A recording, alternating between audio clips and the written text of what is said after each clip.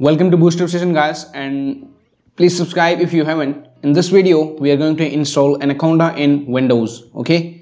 So just go to the search bar in your favorite browser and type www.anaconda.com scroll down Anaconda distribution click on download now and here click on your operating system Windows and click on download whichever version you like. If you're using 64-bit Windows or 32-bit Windows. Let me show you how to get that version from right click on your PC, go to properties and here you can see system type 64-bit operating system okay?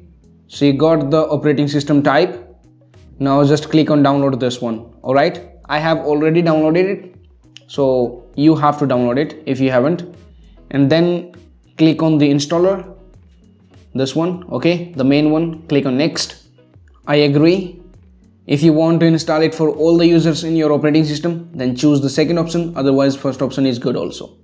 Click on next. So it will require 2.9 GB of space. So if you don't have that much space in your C drive then you can use other drives also okay? Click on next.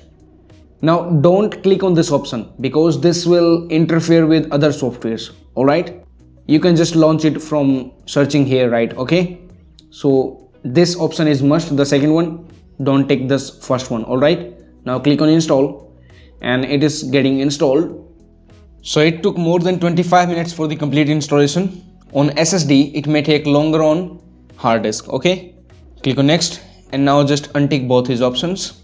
Click on finish. Type windows key and search for anaconda and press enter. Now you can see that it is running we see anaconda logo here.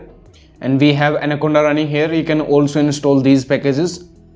The best one is jupyter lab. Click on launch. And let's test it if it's working or not. You can use any browser you want. And just create a new notebook here python 3 and let me show you that it is working or not.